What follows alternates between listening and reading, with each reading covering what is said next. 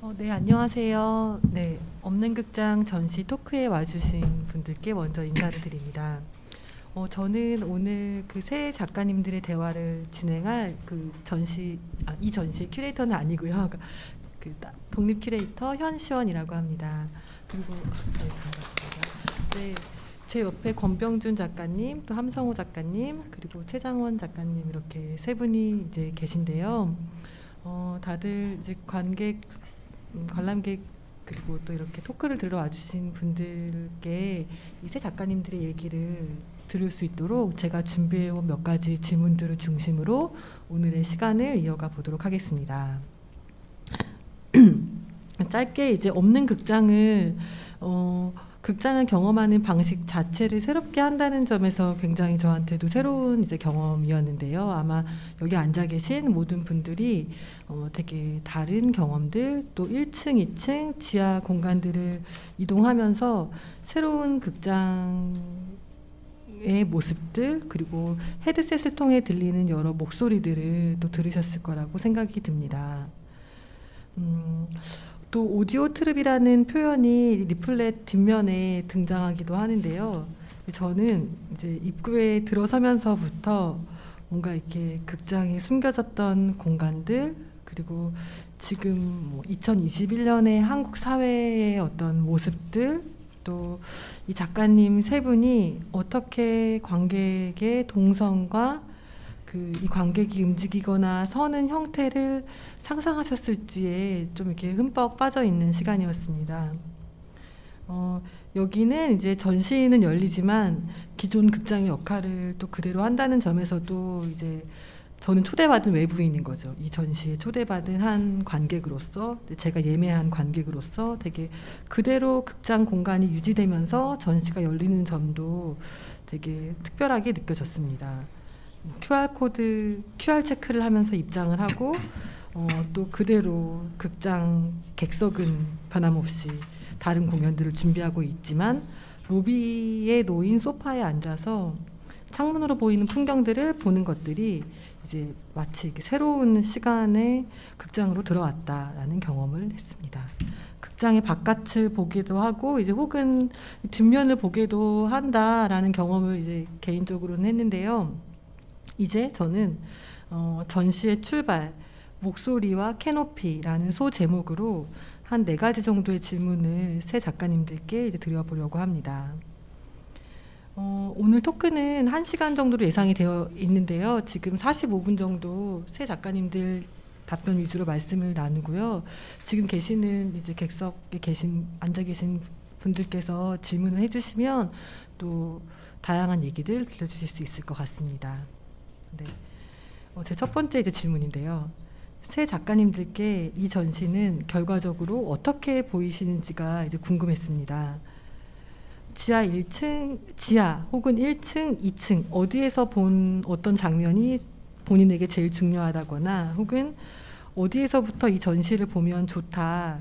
이제 각 작가님들께 이번 전시의 어떤 순간 혹은 장면을 각각 뽑아 주시기를 질문 드립니다. 음, 예, 제가 먼저 할게요. 바로 옆에 네. 있으니까 저는 권병준이고요.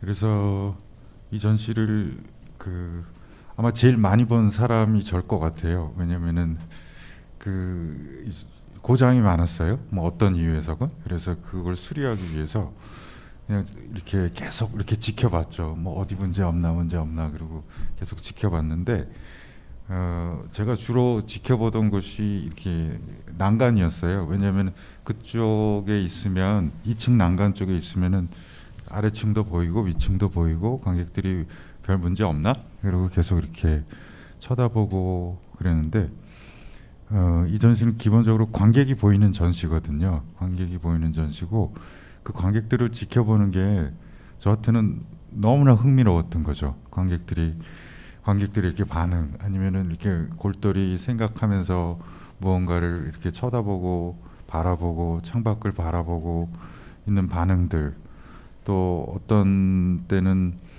이렇게 커튼콜을 이렇게 박수 소리를 막 들을 수 있을 있는 쪽이 또 이, 2층에 있는데 그런 데서는 어, 어떤 젊은 친구들은 막 이렇게 일어나서 막 이렇게 손을 들고 막 이렇게 뭐 인사하고 난리 나더라고요. 막 이렇게 인사하고 뭐 옆 옆에 친구가 박수 쳐주고 막, 막 이렇게 연극하는 젊은 친구들인 것 같아요. 그런 그런 것들이 이렇게 보면서 아, 되게 저도 그 이런 작업에 참여해서 또 이렇게 지켜보는 과정들이 되게 뿌듯하고 보람도 있고 그랬고 음, 그 중요한 모먼트들이 몇 개가 있죠. 몇 개가 있는데 저 같은 경우에는 어, 그 캐노피를 건너갈 때 이제 함성호 선생님이 작업하신 캐노피를 건너 가는 분들도 있고 또 이제 미처 못 들어가는 이거 들어가도 되나? 그리고 못 들어가는 분들도 있고 그런데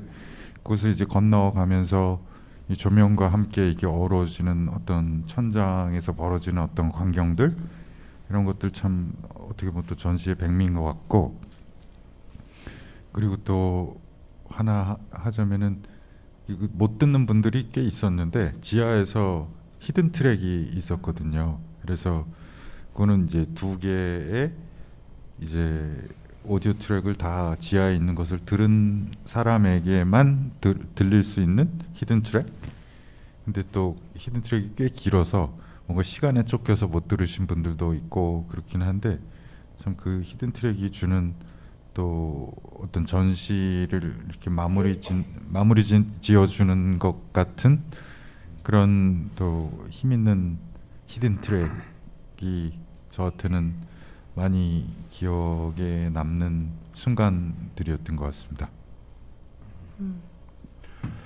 그저 같은 경우에는 제가 설치한 저는 이제 그 로비에 실을 띄워서 그걸 설치를 했는데 제 설치물은 만년굿지라서요 뭐 손볼 게 없었어요. 한번 탁 설치하고 나가지고 거의 뭐 굳건하게 자리를 잡아서 손볼 게 없어가지고 순수하게 이제 관객 입장에서 한번 여기를 이제 들어와 봤죠. 그래서 저는 이제, 이제 우리 많이 얘기를 했으니까 여기 들어올 때 폐사지에 간다. 이제 그런 기분으로 없는 극장이니까 폐사지에 간다는 기분으로 이렇게 들어왔어요. 들어와 가지고 아까 검병준 씨가 얘기한 것처럼 저도 이제 그 2층으로 이렇게 딱 올라가서 커튼콜을 뭐 커튼콜인가 이거 박수인가 음. 해가지고 박수 소리를 들으면서 쭉 진행해서 창문 앞에서 이제 세 개 거기에 세 개 듣는 데가 세 군데가 있거든요. 그 창문 앞에서 이렇게 딱 바라봤는데 폐사지 그러니까 폐사지가 아니라 이걸 뭐라 그러죠? 폐 극장지 폐 극장지에 이렇게 딱 서니까 거기에 그쪽 2층 그쪽에 딱 서니까 과- 그 배우들이 보이는 거예요. 그러니까 그 배우들이라는 거는 환영처럼 창문을 통해서 그 지나가는 사람들인데 도를 아십니까? 이렇게 묻는 묻는 사람들의 기겁해가지고 달아나는 배우들 어, 그런 배우들도 보이고 마로니에 나무하고 이렇게 섀도우 복싱을 하는 그 아저씨가 있더라고요. 그분이 가끔 오시는 것 같죠. 설치 저 조- 조형물을 설치할 때도 가끔 제가 봤던 것 같아요. 근데 그분이 그날은 정말 배우가 돼서 거기서 섀도우 복싱을 오래 하시더라고요.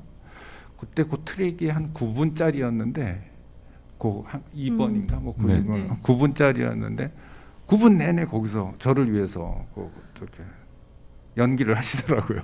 그래서 그런 없어진 배우들의 환영 같은 것들 뭐 이런 것들을 보는 것들이 굉장히 인상적이었고 그리고 지하에서 그 hidden track에서 hidden track hidden track 맞죠? 네. 그게 그 배 배가 기우는 아 그거는 hidden track은 아니고 네. 고개를 숙이면 들을 수 아 있는 고개를 음. 숙이면 이제 들을 네. 수 있는 건데 거기서 배가 기우는 소리 그그그그 하는 그 소리가 나면서 거기가 이제 마지막 으로 하고 다시 로비로 올라오는 거였는데 그 제 설치물하고 좀 연관이 있는 것 같아서 어, 좀 인상적이었습니다. 네, 저는 최장원입니다. 어, 제가 뭐 크게는 없는 극장 그 루- 저희 아르코 극장 안에 이제 없는 극장 전시를 생각했을 때 조금 더 극장이라고 생각할 수 있는 부분 그 다음에 어, 이런 거는 극장이 아닌 다른 공간에 왔다 이런 느낌을 좀 로비 공간 혹은 지하 공간 이렇게 다양한 공간들을 다니면서 이렇게 다르게 느낄 수 있는 포인트가 흥미로웠던 것 같아요. 그 부분을 저희도 많이 고민했었던 것 같고 어, 우선 지하 저 같은 경우는 지하 공간에서는 지하 연, 연습실이죠. 연습실에서는 뭔가 짧은 단막극 혹은 여러 가지의 에피소드가 서로 관계가 없는 듯한 얘기들이 어, 그 설치 작업들을 주변으로 해서 구역이 좀 나눠져 있고 그 어느 시점에서 관객들이 위치하고 행동하고 반응하느냐에 따라서 다른 이야기들을 어, 접할 수가 있는 거예요. 그래서 뭔가 같은 공간에 있지만 어, 그 상황 관람자가 놓여진 상황 위치 그 다음에 작품과의 거리 이런 것들에 따라서 어, 서로 다른 얘기를 들으는데 그또 동시에 일어난다. 같은 공간에 있다. 이런 부분들이 굉장히 매력적이었던 것 같고 그게 요즘 시대나 여러 가지 문제들 포함해서 그런 것들을 많이 어, 은유적으로 보여줄 수 있지 않나 그런 것들이 가장 좋았었던 것 같습니다. 네, 어, 새 작가님들 얘기를 들으니까 저도 이제 어, 한 명의 관객이었습니다만 다들 너무 이렇게 그림을 그리듯이 이 전시가 다시 좀 이렇게 활성화되는 듯합니다. 어, 그 전시를 준비하는 출발 지점에 새 작가님들이 말씀해 주신 것은 이제 어- 결과적으로 어떻게 보이는가, 어떤 모먼트를 꼭 집어 주실 수 있는가에 대한 답변을 해 주셨는데요. 다시 출발 지점으로 조금 이동해서 그 출발 지점에 다양한 극장들이 있었을 거라고 생각을 이제 했습니다. 고유 명사로서 아르코 예술극장 이제 40살이 됐다고 하는 그 81년도에 생겨서 2021년까지 살아온 아르코 예술극장이 있을 수 있을 테고요. 또 추상적인 개념 아니면 역사적으로도 뭔가 기원전을 거슬러 올라가는 극장까지 생각해 보게 되었습니다. 이제 이게 제 스스로 생각한 건 아니었고요. 이 리플렛 도 너무 재밌는 글들이 많이 있었습니다. 제, 제, 있었는데요. 이제 그 권병준 작가님이 쓰신 문장 중에 극장이 사라진 미래 그리고 또 방금 함성호 작가님도 그 폐사지라는 말씀을 주셨습니다. 이제 없는 극장이 다양한 방식으로 극장의 사라짐에 대해서 얘기한다는 것을 이제 느낄 수가 있었는데요. 어, 이 극장의 사라짐이라는 것, 사라짐으로 오기까지 다양한 논의들이 있었는지가 궁금했습니다. 단번에 뭔가 없는 극장, 사라짐을 떠올리셨을까? 아니면 여러 과정 중에 뭐 이렇게 오게 되셨을까가 궁금했습니다. 함성호 선생님.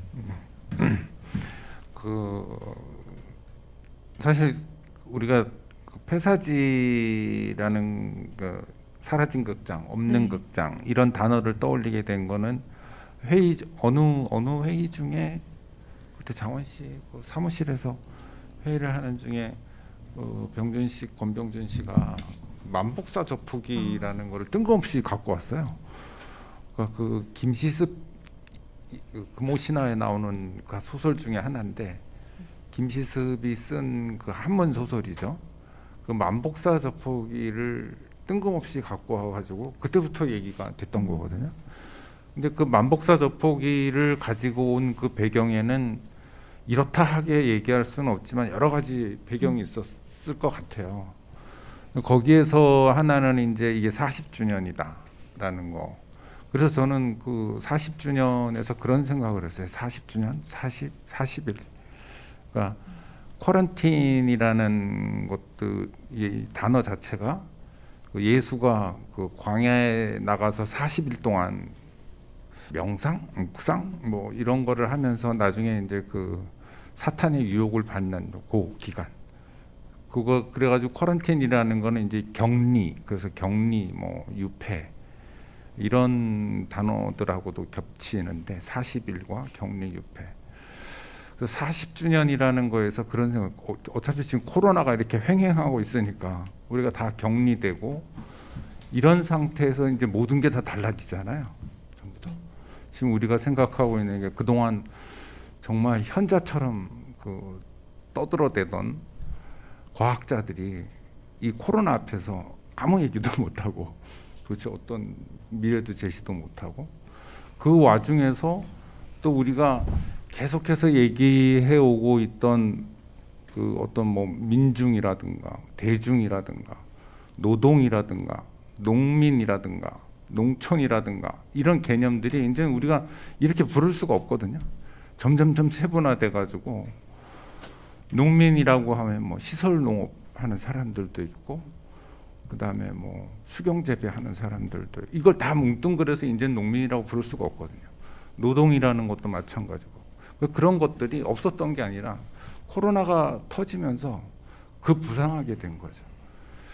그래서 우리가 뭐 이런 그 뭐죠 재택근무라든가 이제 이런 것들 이런 것들도 과거에 다 전에 얘기돼 왔던 것들이죠. 다 얘기돼 왔던 것들이 코로나 때문에 이제 다시 한번 심각하게 생각을 구체성을 얻게 되었는데 그런 구체성을 얻는 과정에서 그럼 극장이라는 건 뭔가 이런 생각을 하게 됐습니다.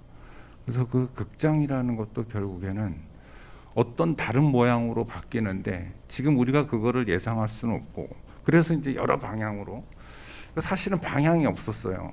굉장히 뭐 다방향적으로 이렇게 훑어보다가 방향이 여러 개가 생기니까 중심이 없어지더라고요. 그 중심이 없어진 바로 그 자리에 그 권병준 씨가 만복사 저포기를 들고 딱 온 거죠. 그래서 그때부터 없는 극장, 사라진 극장이 거꾸로 구체화되기 시작한 거였습니다.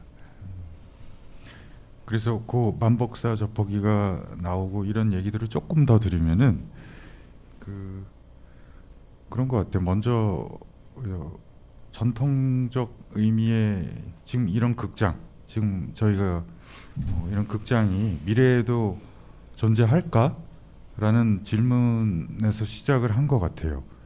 어, 물론 뭐 코로나 상황이 있고 그 다음에 그렇기는 하지만 이런 극장이 이제 이제 모두가 뭔가 이렇게 개인화되고 전화기로 들어가고 화면 안으로 들어가고 이런 세상이잖아요. 마, 많은 부- 것들이 그런데 이제 앞으로 10년 후, 20년 후 앞으로의 미래의 극장은 어떨까? 정말로 계속 이- 이런 식으로 존재할까?라는 질문을 이제 하게 되었고 어, 거기에서 조금 극단적으로 미래에는 극장이 사라진다라고 한번 그냥 이거는 제가 어떤 선언을 하는- 게 아니라 어떤 가정을 해보는 것이죠.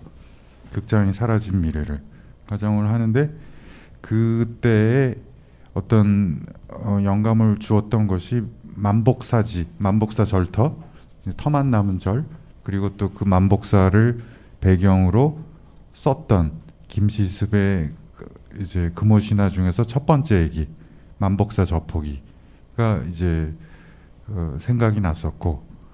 그래서 어, 만복사 저포기를 읽어보신 분들도 있겠지만 그 홀령과의 사랑 이야기거든요. 어, 사랑 이야기인데 그 만, 터- 절터만 이제 남은 이제 폐 폐사지? 진짜 그 절터에서 너무나 그 이야기가 드라마틱하게 어우러지는 이제 경험을 했었고 그리고 그런 것들이 지금 우리가 상정할 수 있는 이 이제 40주년 기념 전시에서 한번 극장이 사라진 미래를 한번 상정해보고 어, 어떤 목소리 위주의 그런 어, 이제 극작가들과 함께하는 목소리 목소리만 남은 보이지 않는 목소리들을 가지고 이제 이야기를 풀어보면 어떨까? 이렇게 얘기가 진행됐었습니다. 음, 네, 그 선생님도 아, 뭐 저는 앞에서 말씀 많이 해주셨는데 살짝만 또 덧붙이자면 이게 없는 극장이 진짜 만복사 저포기의 그 배경처럼 존재하지 않는 그런 걸 수도 있지만 이 앞에 뭐 관람객들의 관점에 따라서는 모모가 없는 극장 이렇게 떠올려 볼 수 있는 재미있는 포인트도 있을 것 같아요. 그러니까 내부적으로는 디테일하게는 이 전시가 극장이라는 게 항상 어, 시작이 되고 무대가 있고 공연이 끝나면 또 조용히 다 사라지잖아요. 관객도 다 빠져나가고 무대도 다 철거가 되고 조용한 공간이 되는데 오로지 저희 그 이번 전시를 하면서 생각했던 것들은 오시는 관람객 그렇게 요즘 격리되는 상황 속에서 힘들게 오프라인으로 찾아하시는 찾아오시는 관람객들이 온전하게 이 공간에서 주인공이 되길 바랬고 이야기들도 이제 무대도 무대만 무대라기보다는 그 배경이 되는 공간이 이 아르코 극장의 내부로서 전달되고 어, 어떤 희곡이라는 내용들도 이제 여기에 시나리오도 있고 그런 성우들도 있지만 그게 이제 헤드셋으로 굉장히 옆에서 속삭여 주는 듯이 나와의 대화처럼 뭔가를 굉장히 내 이야기처럼 다가오게 되고 또 관객도 본인이 이제 캐노피라든지 스스로 이제 그 무대를 하게 되면서 어느 순간에는 관객의 입장이 아니라 배우의 입장이 될 수 있지 않을까? 그런 좀 어, 잠시 어떤 그런 입장이 될 수 있지 않을까 이런 생각들을 하면서 무대, 배우, 관객, 희곡 이런 것들의 경계조차 없는 극장으로 좀 보이지 않을까 뭐 그런 좀 속 이야기도 있었습니다. 네. 어, 말씀드리면서 뭐 그 2020년부터 시작된 코로나 그리고 정말 뭐 유령 뭐 여러 가지 생각들을 해보게 됐는데요. 제가 그세 작가님들한테 그 극장의 스태프진들과 만나서 어떤 생각의 변화가 있으셨느냐 협업의 과정을 여쭤보는 질문도 있었는데요. 그거 살짝 뛰어넘고 바로 그 전시를 보면서 정말 약간 깜짝깜짝 놀라게 되는 순간들이 있었거든요. 진짜 아까 한 작가님 말씀해 주신 것처럼 귀로 뭐 아이들에 대한 얘기가 나오는데 바깥에 아이들이 막 뛰어가고 그래서 저는 지금 우리 현장에는 안 계시지만 배율, 이용도, 장영 이 세 분의 그 극작가 분들과의 그 협업에 대해서 얘기를 좀 여쭤보고 싶었습니다. 그러니까 이 분들의 글이 뭔가 이렇게 공간 안에 존재하는 방식이 다양한 배우들의 사라짐을 얘기하기도 하고 뭔가 이렇게 안 봤지만 본 것 같은 공연을 얘기하기도 하고 다양한 형태의 글들을 또 이제 목소리로 어 우리가 들을 수 있도록 이렇게 글을 써주셨는데요. 이 세 분의 젊은 극작가 분들과의 협업은 어떻게 진행되셨고 어떠 어떠셨나요? 예. 그래서 제가 먼저 좀 제안을 했습니다. 극작가 분들과 함께 작업을 하고 싶다고 제안을 했는데 그 가장 큰 이유는 아마 그거였던 것 같아요. 저 저는 극장하고 인연이 있지만 그래도 그렇게 많지는 않아요. 그리고 그리고 요새 전시를 더 많이 하고 있고 아마 저보다는 더 적으실 거예요. 그러니까 어떻게 보면 저희들은 이 전시를 하기 위해서 이제 극장의 40주년 뭐 생일 잔치를 하기 위해서 초대된 약간 이방인들 같은 사람들이었죠. 그런데 진짜 식구들을 좀 모시고 싶었죠. 그리고 그게 아마 이 극장에서 오랫동안 일하고 일, 일하셨던 분들도 물론 그 식구들에 들어가지만은 또 젊은 이제 제가 극작가를 소개해 달라고 했을 때 이제 추천을 받았던 이용도 작가라든지 또 이용도 작가의 추천으로 참여하게 된 배율 장영 작가 같은 분들이 이제 20대 젊은 극작가 분들이고 그런데 그런 분들조차도 저는 어 여기에 진짜 식구구나 식구겠다라고 생각을 했는데 또 막상 글 쓰신 거 보면은 여기에 들어올 때 느끼는 여러 가지 또 그분들조차도 또 이방인이었던 거죠 여기에서. 그리고 또 그런 것들이 이제 그, 그 그분들이 쓰신 글 안에 또 오롯이 다 녹아 있고. 그래서 그런 그분들이 또 이제 배우분들을 또 섭외해 주셔서 또 이렇게 함께 하고 그러면서 뭔가 어, 이 작업이 좀 더 어, 내밀해지고 또 그런 어떤 또 다른 층위들이 생겨나고 그리고 또 이 극장의 40주년에 훨씬 더 어울리는 그 컨텐츠로 이렇게 발전을 해나갔다고 생각을 하거든요. 그리고 또 많은 분들이 더 공감할 수 있는 프로젝트로 발전을 해갔고 그리고 이제 그 그분들과 협업, 협업을 할 때 사실은 쓰고 싶은 대로 다 쓰라고 저는 그렇게 얘기, 얘기 했어요. 전 전혀 뭐 저, 터치한 거 없습니다. 그냥 근데 처음에 만복사저포기 얘기했었고 그다음에 제가 조금 이렇게 진행하고 있었던 어떤 machine learning을 이용해서 이제 생성된 테스트들 텍스트들 좀 공유했었고 그리고 어 서로 얘기들 조금 나누는 미팅 몇 번 있었고 그 정도였던 것 같아요.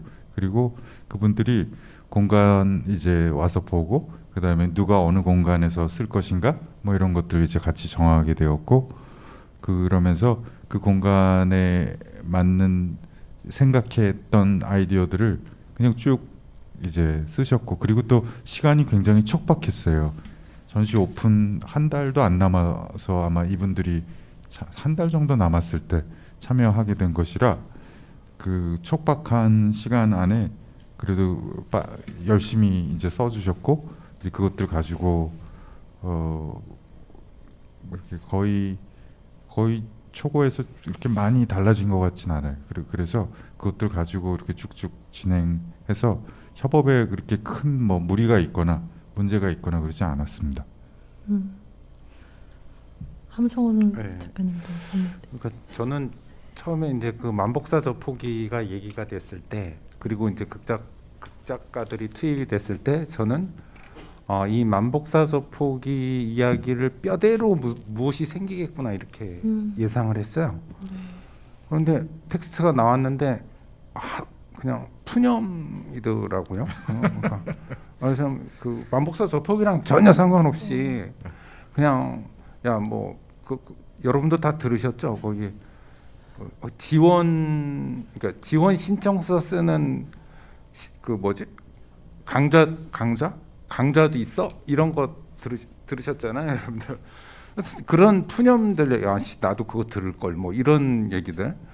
그런 어떤 연극의 주변을 둘러싸고 일어난 이야기들이 다 했어요. 그래서 그래서 만복사 족보기 도대체 어디 어디 있는 거지? 끝까지 없더라고요. 그래서 그 건물에 대한 이야기는 이제 그 앞에 사무실 서두에 쪽에 나오죠. 네, 김수근. 그죠. 뭐 기, 금수근, 김수근과 네. 음, 그 이름도 몰라 김주군 뭐 이렇게 나오고 그리고 결국엔 뭐 그 김수근이라는 사람도 소외받고 네, 그러, 그렇게 나오더라고요. 그래서 아 이거를 내가 어떻게 받아들여야 되지 이렇게 생각을 했어요. 왜냐하면 이게 재밌네요. 뭔가 이렇게 연결이 돼야 되잖아요. 이게 우리가 연결이 돼야 되는데 아 이걸 어떻게 받아들여야 되지 그래가지고 일단 참았습니다. 일단 참고 어떻게 되나 보자. 음. 그 다음에 이제 그거를 그 녹음 파일이 이렇게 왔어요. 이렇게 배우들이 해가지고 녹음 파일로 왔는데 어, 좀 다르더라고요.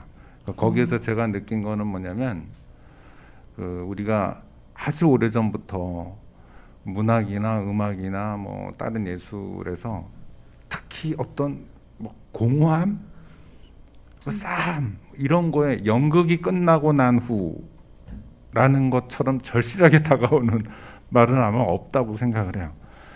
그런 노래도 있죠. 연극이 끝나고 난 후라는 노, 그 대중음악도 있는데 그쵸, 네. 예, 그러, 그러, 그럴 정도로 우리한테 가장 어떻게 보면은 익숙하지 않은, 그러니까 마주치고 않은, 마주치고 싶지 않은 정서지만 가장 그 싸하게 다가오는 정서가 연극이 끝나고 난 후의 무대, 음. 극장 이런 것들을 굉장히 잘 보여준다고 생각했어요. 그래서 용서하기로 했습니다. 예. 오, 저에게 너무 신선한 답변이었어요, 선생님. 왜냐하면 이게 어떤 시차에 대해서 말씀해 주신 것 같- 같거든요. 그리고 이게 원고로 글을 볼 때랑 저도 사실은 이 세 작가님들 작업으로서는 잘 알지만 다 오늘 처음 이렇게 대화를 나눠보고 우리는 지금 이 전시를 봤다는 공통점에 의지해서 대화를 해나가고 있는데요. 어, 저는 그래서 그 원고에 대해서 선생님이 말씀해 주신 게 너무 예상하지 못했던 답변이에요. 또 이게 원고를 보고 또 극장 안에서 작업들과 함께 그 배우의 목소리를 들을 때의 경험이 되게 다르셨구나라는 부분을 말씀해 주신 것 같습니다. 그 지금 이제 목소리 가지고 먼저 얘기를 풀어나가고 있는데 짧게 저는 이제 권병준 작가님한테 딱 드리는 질문이에요. 네. 어떤 소리 그러니까 질문이 좀 제가 여러 가지를 너무 이 한 문장 안에 썼는데요. 그러니까 움직이면서 조명이 살짝 따라오기도 하고 이렇게 이렇게 사운드가 이동하고 계단 올라가면서 제가 전시 세 번 봤는 데 이제 볼 때마다 못 들었던 사운드 다 들었고 아직도 다 못 들은 것 같아요, 사실은. 그래서 이제 그 음, 그러니까 뭐 그러니까 뭐랄까 이게 되게 어려운 이름이 있을 것 같아요. 이 소리를 작동시키는 방식이요. 네. 그래서 그 작가님의 기존 작업 뭐 이런 어떤 기술적인 공부들 이런 기술들을 이 극장에 적용시키면서 하셨던 어떤 그 방식들에 대해서 얘기 듣고 싶어요. 네. 그래서 이 기술적으로는 네. 두 가지가 참 저한테는 어떻게 보면 도전했었던 것들이 이- 있는데 이 기본적으로 그 위치 관- 관객의 위치를 인식하여서 그다음에 장소 특정적 소리를 들려준다 뭐 이런 이, 이런 겁니다. 그래서 어느 장소에 가면 어떤 소리가 들립니다. 뭐 이런 거예요. 그런데 그게 생각보다 그렇게 쉬운 일은 아니거든요. 쉬운 일은 아닌 것이 어 이게 일단은 층이 세 개나 되고 지하 그다음에 1층 그다음에 2층 뭐 이렇- 이렇고 그다음에 공간이 뻥 뚫린 게 아니라 뭐 이렇게 꺾어져서 저쪽으로 가고 구석부터 이렇게 하잖아요. 굉장히 복잡한 구조의 건물이고 그래갖고 이런 것들의 이제 구석진 곳까지 이제 그 어떤 시스템이 그것을 인지하여서 관객에게 특별한 소리 경험을 하게 해준다라는 것이 좀 이, 사실 쉽지 않았어요. 한 거의 한 두 달 정도 그걸 가지고 시뮬레이션 하고 그 다음에 계속 그 어떤 어떤 것이 최적의 방향일까에 대해서 그 회의하고 또 뭐 나름대로 이제 연구 개발의 시간들이 있었고 그 다음에 또 하나가 이제 또 저 처음 제안했던 중요한 컨셉 중에 하나가 그 관객에게 이제 빛을 이제 주자라는 관객에게 관객이 관객이 빛을 받게 하자라는 이제 컨셉이 또 있었더래서 그걸 또 꼭 구현 이제 해야만 하는 이제 어떻게 보면 굉장히 중요한 그 부분이었고 이제 그렇게 하기 위해서는 이제 그렇게 해서 이렇게 파악된 그 관- 관객의 위치 정보를 또 위에 달려 있는 이제 조명들에게 그 또 그 조명마다 여덟 개의 moving 스포트라이트가 있는데 걔네들이 또 맡은 영역이 또 다 따로 있는 것이 너무 이렇게 멀리 있는 애를 멀리 있는 애가 비추면은 눈이 많이 부시거든요. 저쪽에 있는 배- 이렇게 각도가 이렇게 되면은 그래서 눈이 부시지 않도록 각 조명들마다 맡은 영역이 있어서 최소한의 이제 각도로 이제 그 어떻게 보면 이제 관, 관객을 불편하지 않, 한, 하는 선에서 그 관객에게 빛을 뭐 주, 주고 싶다라는 게 있어서 그런 것들을 어쨌거나 기술적으로 해결하는데 뭐 지금 대략 그 그렇게 되고 있습니다. 이렇게 되는데 어 이게 보면은 제 이런 것들이 어 이전에 전시에서도 쓰긴 썼어요. 그래서 이전에 전시에서도 어 뭐 장소 특정적인 소리를 뭐 어떤 정원에서 어느 의자에 앉으면은 또 뭐 어떤 소리가 들리고 뭐 이런 이런 프로젝트들을 이제 해 왔었고 그런데 그것의 주된 이제 테마가 주제가 뭐 이제 이방인들의 목소리였죠 그때도 그래서 예를 들면은 뭐 예멘 난민들의 노래 뭐 이런 거를 들려 이제 야외에서 들려줬었던 적이 있었고 또 다문화 가정 아이들의 자장가 뭐 이런 걸 들려줬었던 적도 있고 그래서 그 어떤 좀 소외된 사람들 혹은 어, 이방인들의 목소리를 담아서 주로 들려주던 헤드폰이었어요. 이 헤드폰이 예, 그랬었던 것이고 또 그 사람들에게 어, 이제 그, 그 사람들의 목소리에 이제 한번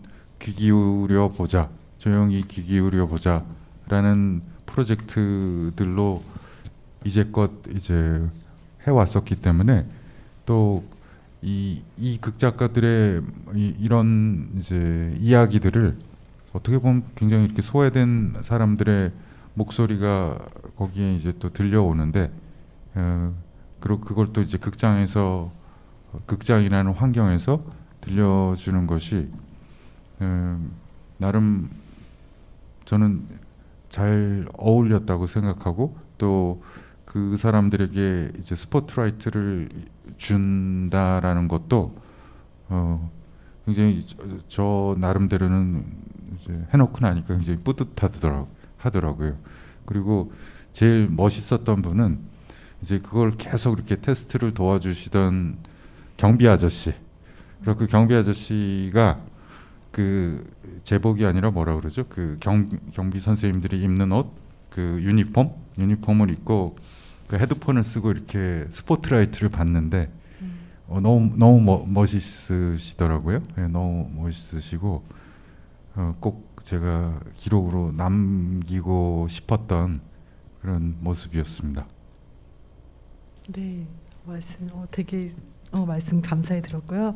제가 이제 그 음, 그 두 번째 덩어리로 이 전시가 40주년 어쨌든 극장에 지나온 40주년을 조금 다시 생각해 보는 그런 큰 어떤 그림이라고 해야 될까요? 그런 그림 안에 안 밖에 있기도 하기 때문에 이제 공간과 시간에 대한 질문을 몇 가지 드리려고 하는데요.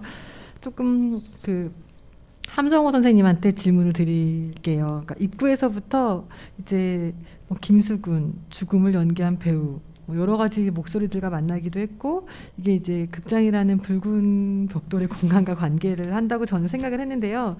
함성호 선생님은 잘 알려져 있다시피 시인이시기도 하고 건축가이시니까 저는 정말 어, 이 극장이 어떻게 보이시는지가 되게 궁금했어요. 그래서 어, 캐노피에 대한 인상을 작업으로 또 글로도 이야기해 주시기도 했는데요. 극장 건축 그 건물로서 한국의 81년도 대한민국에서 지어진 이 건물이 가진 특성 그리고 또 선생님 작업과 관련해서도 말씀을 들려주시면 좋겠습니다. 사실 거기에 대해서는 별할 얘기가 없는데 우리 뭐 최정원 씨도 마찬가지겠지만 건축하는 사람들한테는 이 건물 저 아르코 그 여기 전시장하고 이 건물은 김수근이라는 그 뭐 의견이 많습니다. 뭐 김수근 건축에 대해서 그 열렬히 신봉하는 그런 부류가 있는가 하면은 또 이분에 대해서 그 반대의 생각을 갖고 있는 분도 있고 그런데 어, 저 같은 경우에는 뭐 좀 중간적인 입장이에요. 중간적인 입장인데 하지만 그렇다 하더라도 이 건물이 김수근 선생의 그 작, 작품이다라는 거에 대해서는 저도 뭐 무한한 존경을 가지고 있었어요 평소에 그러다가 이 극장 이제 40주년 에서 여기서 이제 같이 와가지고 이렇게 보니까 어, 그런 생각이 들었어요. 이게 벽돌 건물이 아니거든요. 그러니까 콘크리트 우리가 전문 용어로 공구리 공구리를 공구리를 치고 그 밑에 그 옆에다가 이제 이거를 그 벽돌을 붙인 거예요. 그러다 보니까 뭐냐면 이게 가짜라는 거죠. 가짜 벽돌 건물. 그러니까 벽돌의 디테일이 하나도 없어요.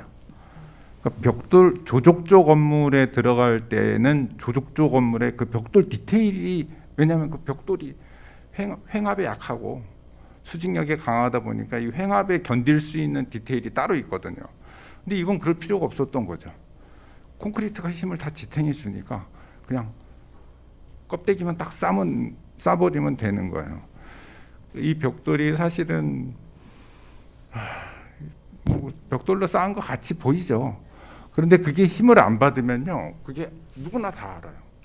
저게 힘을 안 받고 그냥 치장만 돼 있다라고 하는 것들을 다 누구나 다 무의식적으로도 다 압니다. 근데 그런 것들이 이게 지루함을 느끼게 해주는 거예요. 이 벽돌 건물, 벽돌이라는 이 건물이. 그래서 일단은 그런 문제가 좀 있었고, 그래서 처음에는 이 벽돌이라는 이 치장 벽돌 쌓기의 이 지루함을 어떻게 좀 이렇게 일신할 수 있을까 이런 고민도 없지 않아 했어요. 그런 고민도 없지 않아 했고, 근데 그 고민은 결국에는 뭐 이렇게 적용은 안 됐고요. 그 첫 번째 질문을 말씀해 주신 것 같고요. 예. 1층 로비에 있는 극장 이전의 극장 거기에 관객들이 걸어갈 수 있도록 하셨잖아요. 예, 예, 예. 제가 남녀 커플들 거기 걸어가면서 사진 찍어주는 걸 많이 봤어요. 아, 그래요? 전시로 관객으로 왔을 때 거기서 이제 사람들 되게 좋아하더라고요. 아, 그 작업을 하시면서 아. 하셨던 생각들도 좀 되게 저는 그 공간이 그 실로 띄운 공간이 이제 뭐 여기 글에서도 썼지만 그 이제 세 가지 층위를 갖고 접근을 했어요. 하나는 아까 캐노피에 이제 전도된 형태 그리고 또 하나는 그 세월호에 수평으로 있는 그 수평적인 바닥이 기울어져 가지고 수직적인 벽으로 변했을 때의 그 당혹감 그 다음에 하나는 뭐 제가 썼듯이 그 술주정뱅이가 담을 넘는데 안으로 뛰어야 되는데 다시 바깥으로 뛰어넘는 이 무한 반복을 되풀이하고 있는 이제 그 그런 세 가지를 두고 그거를 설치를 했는데요. 그래서 결국에는 저는 이 공간과 관련해 가지고 그 실이라는 작업, 뭐 제가 워낙 실이라는 거- 소재를 좋아하긴 해요. 좋아하긴 하는데 그 실이라는 작업을 통해서 이렇게 보여주고 싶었던 거는 그냥 안 보, 신경 안 쓰면 안 보이는 그런 재료가 없을까? 이렇게 생각을 한 거죠. 신경, 신경 안 쓰면 안 보이고 또 신경 쓰면 보이는 그 우리가 인식 속에서 사라졌다가 다시 인식 속에서 나타나는 대상이 문제가 아니라 그런 정도의 생각을 해본 겁니다. 그래가지고 거기다가 그 띄웠는데 사실은 어, 여기는 누워 있는 사람이 있을까? 사실 이런 좀 물음이 좀 있었어요. 여기서 이렇게 누워 있는 사람이 좀 있을까? 근데 그런 사람은 없는 것 같아요. 제가 뭐 자주 나와보진 않았는데 예. 왜냐하면 그 깊이에 대해서 조금 이렇게 더 생각해 볼 수 있는 어, 관람객들이 있었으면 좋겠다 그런 바람이 좀 있죠. 네. 어, 네. 저희가 한 45분까지 대화하고 관객분들 질문을 들어보고 싶었는데 벌써 45분이 지나고 있어요. 조금 네, 시간이 빨리 흐르죠. 또 남아 있는 질문들 몇 개 좀 선택해서 드리고 어, 질문 나눠보는 시간으로 이어갈 테니 한번 더 들어 더 이어가 보도록 하겠습니다. 그, 그 음, 권병준 작가님 말씀에서도 그렇고 소외된 목소리, 조명 이런 얘기들 계속 좀 이렇게 되게 중요한 그 전시에서 보여주고자 했던 부분들이라는 생각을 이제 하는데요. 최장원 작가님한테 또 질문을 드려볼게요. 그러니까 지하실로 걸어 들어갈 때 보이는 그 비정형의 문들 그리고 그 로비에 있는 작업들 정말 이 공간을 다시 보게 만드는 이제 작업이었습니다. 그, 그 최장원 작가님께도 이 작업 준비하시면서 어떤 생각들 하셨는지 그거를 여쭤보고 싶습니다. 어, 이번 작업 전시 준비하면서 뭔가 어느 한 군데 전시장 예를 들면 전형적인 미술관에서 전시를 한다고 하면은 정해진 위치가 있잖아요. 근데 제가 어, 설치하게 될 전시 작업이 놓이는 위치가 딱 정해져 있는 거죠. 사람들은 거기를 가서 그 작품을 보고 또 다른 작품을 보고. 근데 이제 로비 공간이라는 게 어쨌든 저희에게 그 공간으로 주어지고 또 지하 연습실 이렇게 뭔가 어, 어떤 위치보다는 장소적으로 뭔가 그런 미션이 주어진 거예요 어떤 면에서는. 그래서 그런 공간들을 사람들한테 딱 들어왔을 때 이전에 원래 있던 그 장소와 좀 다, 다시 그걸 바라보게 할 수 있는 방법들에 대해서 굉장히 고민을 많이 이렇게 세 분이 셋이서 같이 했었는데 어, 우선은 비정형의 문 작업, 그러니까 지하 연습실에 설치된 비정형의 문 같은 경우는 기존의 작업을 다시 재구성해서 어, 제안을 드렸지만 이제 로봇 작가 필립이라는 로봇 권변준 작가의 필립과 함께 같이 제안이 되었어요. 그래서 그 비정형의 문 같은 경우는 어, 로봇이지만 그 친구는 이야기를 하고 살아있듯이 움직이면서 그 무언가의 메시지를 행, 제스처와 그 다음에 본인 스스로의 빛과 여러 가지 메시지들을 같이 녹여내고 있고 어, 그 작품을 바라볼 때 보는 위치에서 이제 비정형의 문이라는 게 문의 모습을 갖고 있진 않지만 그 보는 각도 혹은 주변에서의 빛의 상황에 따라서 다른 여러 가지의 문의 흔적들이나 이런 이미지들이 벽에서 얘기되지기를 바랬어요. 그림자로서. 그러니까 그게 그림자라는 게 계속 빛의 방향에 따라서 위치가 변하고 마치 저희가 문을 열었을 때 그 궤적이 변하는 것처럼 빛의 움직임에 따라 변하고 그 다음에 어느 순간 사라지게 되고 닫혀서 없어지게 되고 잡히지가 않는 그런 존재가 되는 건데 그런 부분들 그 다음에 어, 예전 작업에서는 비정형의 문이 고정된 빛의 움직임에 전멸의 의지를 했었어요. 켜고 꺼짐, 색깔의 변화. 근데 이번 작업에서는 서치 라이트처럼 스, 그 위치가 변합니다. 각도가 변하는데 어 뭐 여러분들이 사운드나 어 그 이야기에서도 들으셨겠지만 뭔가의 어둠 속에서 계속 찾아야 되는 어떤 입장들 어, 어떤 빛을 계속 어둠의 공간에 쏘아줘야 되는 어떤 그런 입장들이 있었고 뭐 그런 여러 가지의 상황들이 존재했었던 것 같아요. 그래서 비정형의 문 같은 경우는 굉장히 어, 크지 않은 작업이지만 그 안에는 굉장히 큰 이야기와 관람자에 따라서 여러 가지 생각이 들어갈 수 있는 거에 집중을 했고요. 로비 공간에 같은 경우는 오히려 너무 많은 얘기를 하지는 알, 않으려고 했어요. 어, 공간에 들어왔을 때 함성 선생님께서 어, 캐노피와 그것들이 캥, 어, 되게 연약한 존재지만 팽팽한 어떤 긴장감을 천장과 바닥에서 그 공간을 이렇게 이루어지고 있다라고 한다면은 제가 제안한 하는 그 부여하는 기둥들 같은 경우는 어 뭔가 이게 똑바로 서 있는 것 같지만 뭔가 좀 불안전해 보이고 또 각각마다도 서로의 높이들이 달라서 어 뭔가 천장 끝까지 도달할 수는 없지만 뭔가 계속 그 안에서 어 결핍된 그런 모습들. 그 다음에 우리가 생각하기에는 기둥이라고 하면은 뭔가 기초 바닥에서부터 단단하게 고정돼서 하늘을 떠받쳐야 될 것 같은 느낌을 주지만 얘네들은 왠지 어, 투명하고 혹은 뭔가 미끄러져 갈 것 같고 가볍고 또는 이제 주변에서 관람객들을 움직이면서 받는 빛에 받게 되면은 정말 어, 작은 그냥 하나의 어, 그냥 뭐- 뭔가의 대상이 되는 그런 그런 다시 보게 하는 그런 생각들을 하면서 제안해 드렸습니다. 네. 네.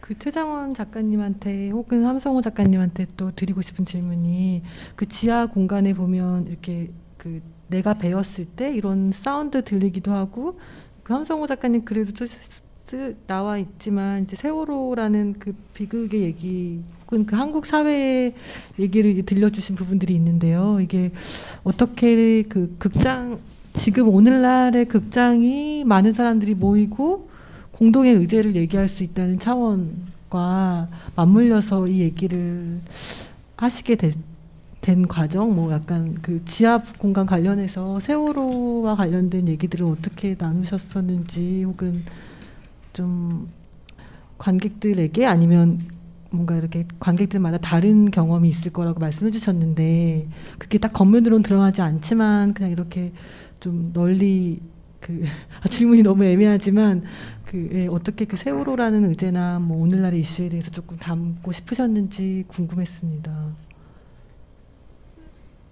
얘기가 얘기 진행하시면서 그 지하 공간을 일종의 배를 이렇게 상정을 좀 하셨었나요?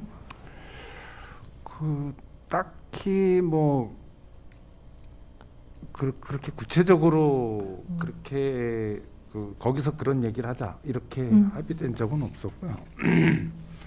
근데 아마 지하를 다루다 보니까 이제 그런 그런 생각이 든 것 같은데 사실 세월호 문제는 아직까지도 진행 중에 있어서 예민한 문제이기도 하고 그리고 어, 모든 게 다 진행 중이죠. 뭐 광주도 진행 중이고 뭐 해결된 게 하나도 없으니까요.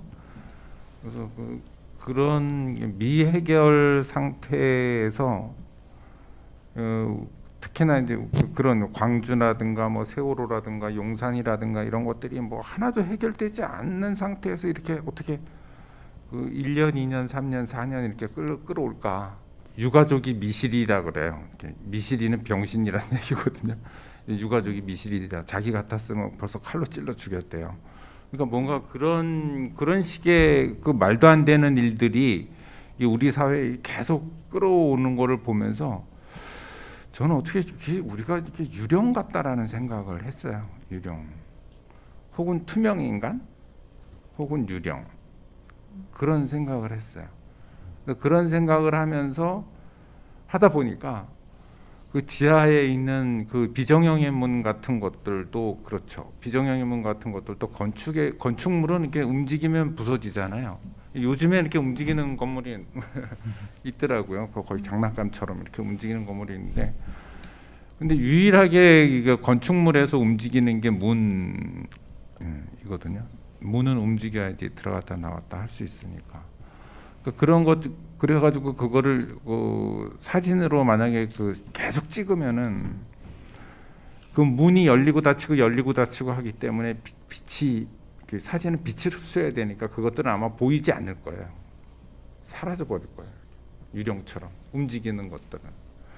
그래서 그런 것들이 그러니까 유령 유령처럼 지금까지 계속 해결 안 되고 또 들어오는 문제들이 어떻게 하다 보니까 그 음. 지하로 이렇게 다 응집이 된 것 같고 적절했다고 생각을 합니다. 그래도. 음, 어, 유령이라고 말씀을 하시니까 감각적으로 그것들이 딱 제가 이 공간을 경험했던 것들과 연결되면서 좀 복합적으로 이렇게 이해가 됩니다.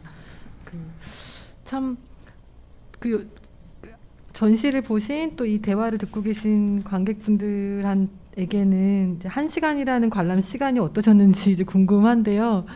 저한테는 한 시간이 되게 짧게 느껴졌어요 전시를 보면서.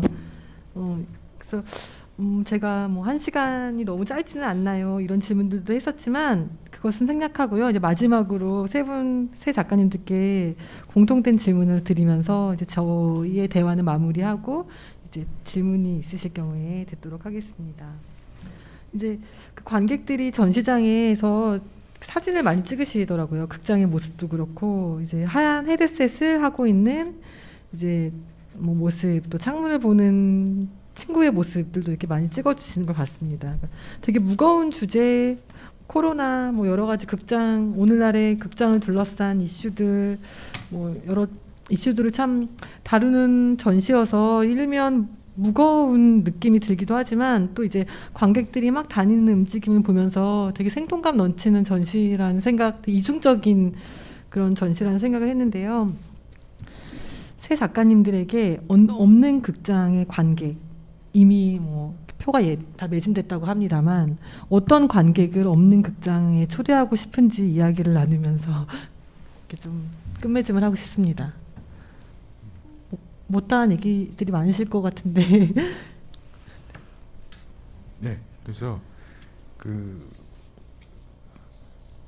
많은 분들이 이 찾아와 주셔서 다 반갑고 좋고 처음에 말씀드린 것처럼 저 계속 관객들 보고 관객들의 반응 너무 재밌고 이렇게 뭐 이렇게 보고 있으면서 그 그러니까 하루 종일 봐도 안 질리더라고요. 어, 모든 사람들의 반응이 다 다르고 그다음에 표정과 태도와 이런 것들을 지켜보는 게 사실은 뭐 고장이 날까봐 이렇게 막 뭐 이렇게 언제 고장 나나 뭐 이렇게 무슨 이런 마음도 있지만 고쳐야 되는데 막 이런 마음도 있지만 그냥 보고 있는 게 너무 재밌어요. 사실은 보다 보면 그 관객을 지켜보는 게 저로서는 그래서 뭐 특정하게 어떤 사람을 초대하고 뭐 뭐 이런 거는 딱히 없는데 사실은 이 극장에 오래 계셨던 분들, 이 극장에서 일하시는 분들을 뭐 제일 초대하고 싶습니다. 아직 못 들으신 분이 있다면. 네. 글쎄요, 뭐 저 같은 경우에는 그 이 극장에 초대하고 싶은 사람은 별로 없는 것 같고 뭐이 전, 전시를 하면서 아 이, 이, 이거 한번 더 해보고 싶다라고 든 생각은 있어요. 관객은 아니고 네. 아, 여기다가 한번 식물을 한번 끌어오고 싶다 그런 생각은 했습니다. 이 극장에다가 어, 아 여기다가 식물을 한번 끌어왔으면 좀 좋겠다. 네, 그런 생각을 했어요. 그거 할 땐 또 저희 다시 뭉치는 건데 불러주시는 거. 어 뭔가 이렇게 전시를 처음 이 뭐 부유하는 기둥들만 조금 국한해서 봤을 때 어, 음, 요청사항이 이제 로비가 로비의 기능을 하긴 해야 되는데 전시장 같기도 하고 극장 같기도 하고 뭔가 여러 가지의 요청 사항이 있었어요. 어, 그래서 이 기둥의 친구들은 아마 오늘 여기 이 자리에 오신 분- 분들께서는 저게 저 위치가 맞나? 저기 왜 저렇게 돼 있지? 사진하고 좀 다른데? 이런 것들을 많이 느끼셨을 거예요. 어, 기본의 어떤 이제 입구를 들어왔을 때 보여지는 그 씬이 어떻게 보여지면은 공간의 어떤 적절한 긴장감, 그 다음에 로비 공간의 어떤 공간감을 극대화 시켜줄 수 있고 여러 가지 소리나 빛에 어우러졌을 때 그게 어, 뭔가의 극적인 어떤 느낌을 잘 전달할 수 있을지의 고민을 한 여러 가지 고민 중에 한 위치인 거예요. 한 점들이 일곱 개의 점들이 있었을 뿐인데 저 역시도 물론 전시 오픈 후에 많이 오지는 못했지만 그게 정답도 아니고 제가 바라는 가장 이상적인 것들은 그 위치들이 계속 바뀌는 게 제 의도이고 그런 것들을 바꿔주는 게 관객들이 그걸 밀고 다니거나 혹은 내가 셀카를 찍던 아니면 연인끼리 사진을 찍던 진짜 그것들이 고정된 위치가 아니라 말 그대로 부유를 해야 되는 게 맞다고 생각합니다 지금. 근데 이제 어떤 정시 특성 혹은 이제 공간의 운영적인 면들 그 다음에 어, 행사가 항상 여기 또 연극도 있고 무, 무용극도 있고 다 있기 때문에 그런 행사들이 있으면 또 그 위치에 어, 있지 못하고 또 저렇게 위치가 있는데 어떤 뭔가 이번 행사의 뭐 마지막 날 혹은 어떤 이벤트 날에는 혹은 행사가 없는 날에는 그 기둥들이 다 뭔가 나와서 사람들이 뭔가 안전상의 그런 것들 잘 이제 운영을 해서 위치대로 마음대로 바꿔볼 수도 있고 실제 작품들을 그냥 보기만 하는 오브제가 아니라 밀고 다니면서 기둥이자 문인 그런 것들을 해볼 수 있는 날을 한번 마련해 주면 어떨까 이런 생각들을 어, 해봤습니다. 어, 네 마지막에 다들 그 극장의 스탭들, 뭐 식물 기둥 너무 중요한 말씀들을 해주신 것 같아서 되게 흥미롭게 중요하게 들었습니다. 그 어떠신가요? 그 작가님들 세 분에게 전시 이렇게 봤다라는 말씀도 들려주셔도 좋을 것 같고요. 질문 있으시면 어떤 것이든지 편하게 말씀해 주시면 음, 모처럼 작가님들의 생각을 들어볼 수 있는 시간이 될 수 있을 것 같습니다. 선생님. 예.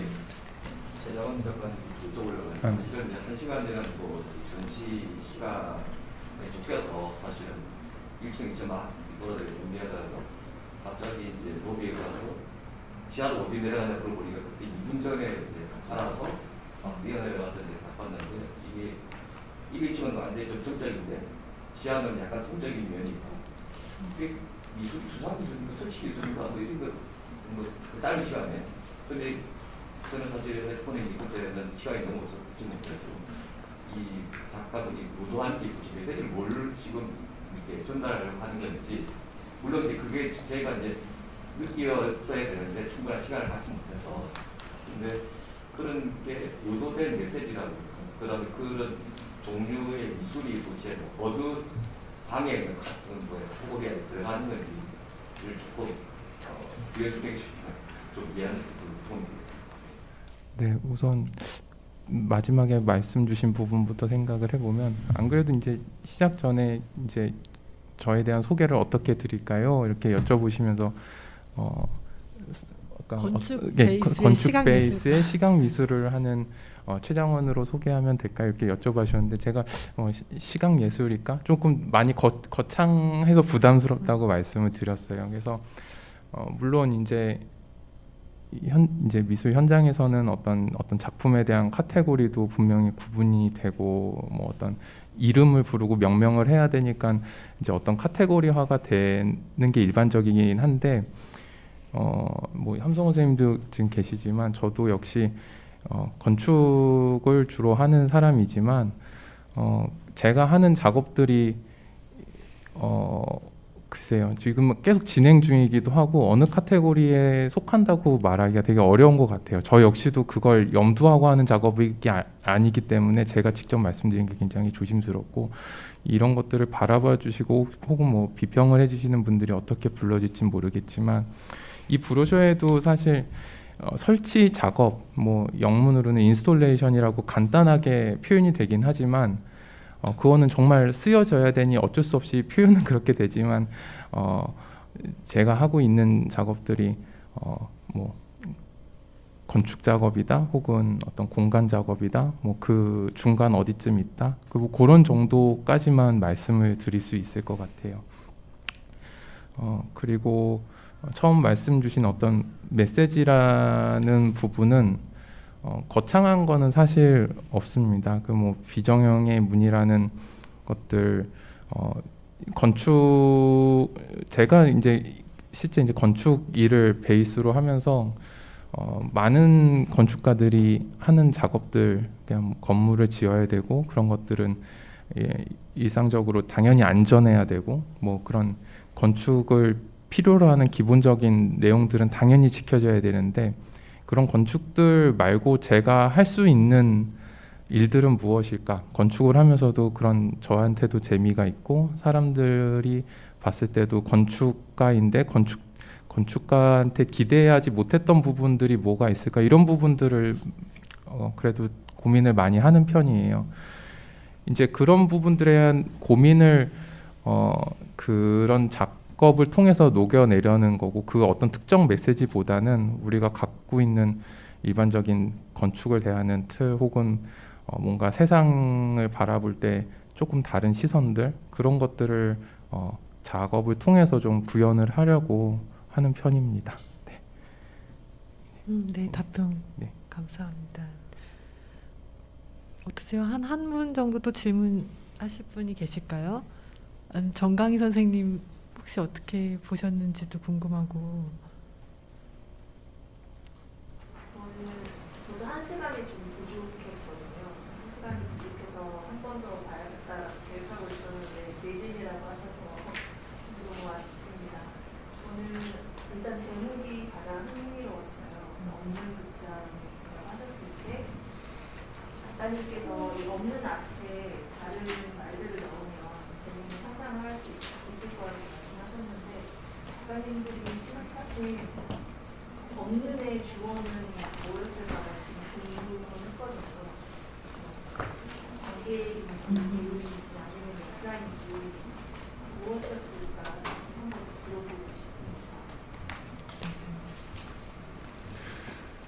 예, 저 같은 경우에는 우- 그래서 질문의 요는 이제 없는 극장인데 그럼 무엇이 없냐 뭐 그거 했을 때 저는 그런 얘기를 한번 한 적이 연출 없는 극장이라고 했어요. 그런데 이, 자, 이 사실 뭐 극작가도 있고 뭐 약간 미술도 있고 뭐, 뭐 기술도 있고 음, 그러면 뭐 당연히 뭐 누군 뭐 원래 시스템은 그렇잖아요. 누구 뭐 연출이 있어서 연출의 지휘하에 일사불란하게 다 연출의 뜻에 따라서 막 이렇게 저렇게 하- 구현한다.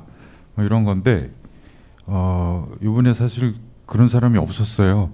이 작업에는 그런 사람이 없었고 어 물론 제가 저의 역할을 미디어 연출이라고 했어요. 저 제가 사실은 어떤 뭐 헤드폰이라든지 뭐 조명이라든지 뭐 이런 것들을 기술적으로 어뭐 구현 하- 가능하게 혹은 또 뭐 이랬으면 하는 식으로 구현을 하긴 했지만 그렇다고 제가 연출이 아니었거든요. 그래서 근데 이런 작업이 연출이 없기가 쉽지 않잖아요. 그런데 그 연출 없는 극장이라는 것이 또 어, 저희에게는 조금 중요했었던 또 컨셉이었던 것 같고 그리고 각자 자기 부, 자기의 맡은 자기 부분들의 연출들을 서로가 어, 대, 대화를 통해서 이렇게 부분 부분 조화롭게 풀어나간 것들 극작가분들 마찬가지고요. 그래서 그 대사 녹음하는 것들도 거의 극작가분들이 연출을 맡으신 거죠. 이제 이런 이런 것들을 하시고 그래서 저한테는 이번에 중요했었던 것은 연출 없는 극장입니다. 좀 덧붙이자면은 어 이게 그 우리 언어 습관이잖아요. 이게 시간과 공간을 의해 가지고 그러니까 우리가 지금 그 최정원 씨가 했던 작업이 극장 이후에 극장 이후의 극장인데 우리는 우리의 시간에 따른 언어 습관 때문에 그 앞의 극장과 극장 이전과 그런 뒤의 극장이 서로 다르다고 생각하거든요. 그 시- 그런데 근데 그거를 시간을 해체해 버리면은 극장 이전이라는 것과 극장은 같아질 수도 있고 또 어떤 다른 모습으로 될 수도 있다라고 보는 거죠. 그러니까 우리가 여기가 만복사 저포기를 통해서 극장, 그러니까 폐극장지라고 이렇게 규정한 것도 그런 시간과 공간의 순서적 개념들을 파- 해체해 버려서 거기에서 우리 언어 습관을 한번 재조정을 해보자. 그러면 거기에서 분명히 어떤 다른 생각들이 튀어나올 것이다. 그런 전제로 제가. 어, 저는 음, 동선 없는 극장 뭐 이런 얘기 앞에 조금 더 붙이자면 무대 위에 동선이 없는 극장 이런 이렇게 생각을 했습니다. 이 앞에 다른 질문이 있었는데 너무 그 부분도 같이 얘기해. 네. 저희가 어, 이 헤드셋으로 듣게 되는 이 이야기의 플롯, 이 순서들도 없거든요. 네. 각이 공간에 가면은 어, 굉장히 뭐 랜덤하게 혹은 그 위치에 따라서 듣게 되는 얘기들이고 그 다음에 전시장에 들어와서 저희가 QR 체크를 하고 들어오긴 하지만 어, 로비 공간은 뭐 지하를 갔다가 중앙 계단을 통해서 사무실 앞까지 가기도 하고 뭐 이런 창밖을 거닐면서 마로니에 공원을 보기도 하고 굉장히 이게 다양한 시퀀스들이 있긴 한데 그런 것들을 전시 동선을 저희 셋이서 논의도 했지만 결과적으로는 이거는 어떤 강제적인 일반적인 전시처럼 전시 동선을 꾸려서 가는면은 의미가 없다라고 판단을 했어요. 그래서 어, 관람객들이 어떤 어, 도슨의 어떤 그 최소한의 가이드를 통해서 사용법이나 이런 것들은 숙지를 하지만 그 안에서 관람을 하실 때는 정해진 동선이나 순서에 없이 그 의지에 따라서 가시는 걸로 그렇게 해서 동선이 없는 극장이라고 생각을 합니다. 어. 네, 되게 재밌는 답변 해주신 것 같아요. 저는 전시를 이제 밖에서 만든 사람이다 보니까 되게 동선이 얼마나 세세하게 연출됐나? 뭐 이런 것들? 그리고 제가 막 동선을 막 짜면서 막 되게 여기에 좀 몰입하기도 하고 또 다 말씀하신 것처럼 못 보게 돼서 다시 또 보기도 하고 막 이러면서 여러 번 오셔서 저로, 저요? 아니 그래도 뭔가 이렇게 발이 자꾸 오더라고요 이 전시장으로. 근데 하여튼 음, 아마 되게 다른 각도로 이 전시를 보신 분들도 있을 거라는 생각이 드는데요. 혹시 질문 또 있으실까요? 아니면 완전 다르게 전시를 본, 본 분도 계실지 궁금하기도 합니다. 저희가 이제 전시 음, 관련해서 혹은 말씀 중에 다 말씀을 많이 들려주신 것 같습니다. 그러니까 이게 기획자가 있는 전시가 아니라 물론 극장 스태프분들, 극장장님 포함해서 많은 분들이 함께 힘을 모으시고 했지만 사실은 세 분 다 동시에 기획자신데 아니라고 없는 극장답게 말씀해 주시는 것 같다는 생각을 또 했습니다. 그러면 그 이렇게 그 정해진 시간보다 좀 살짝 길었지만 그 세 분 작가님들 목소리 들을 수 있어서 너무 중요한 시간이 됐던 것 같습니다. 함께 들어주셔서 감사합니다. 네, 감사합니다. 감사합니다.